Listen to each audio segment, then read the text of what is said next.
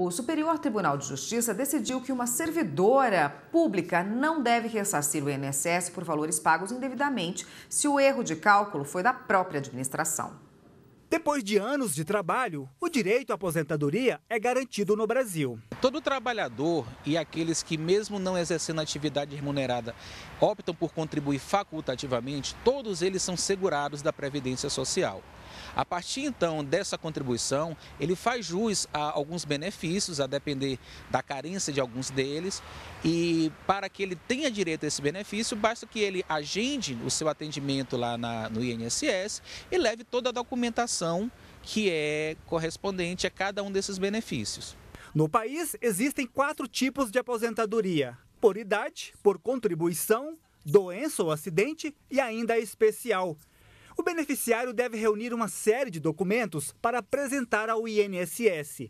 O Instituto é responsável por calcular o valor da aposentadoria. Mas, se sair algo errado, às vezes é preciso recorrer à Justiça para resolver o problema.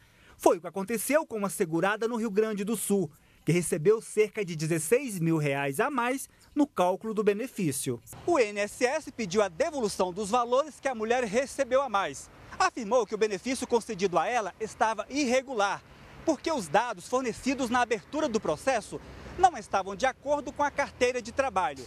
Mas a mulher afirmou que não agiu de má fé e que o erro foi do INSS, porque havia perdido o processo de concessão do benefício dela. O pedido do INSS foi analisado na segunda turma do STJ. Os ministros aplicaram o entendimento já firmado pelo tribunal de que, como o erro de cálculo foi da administração, o valor não deve ser devolvido. O servidor que recebeu é, qualquer valor de boa fé não deve ser ressarcido esse valor ao erário, porque ele não teve nenhuma influência no, na concessão desses benefícios.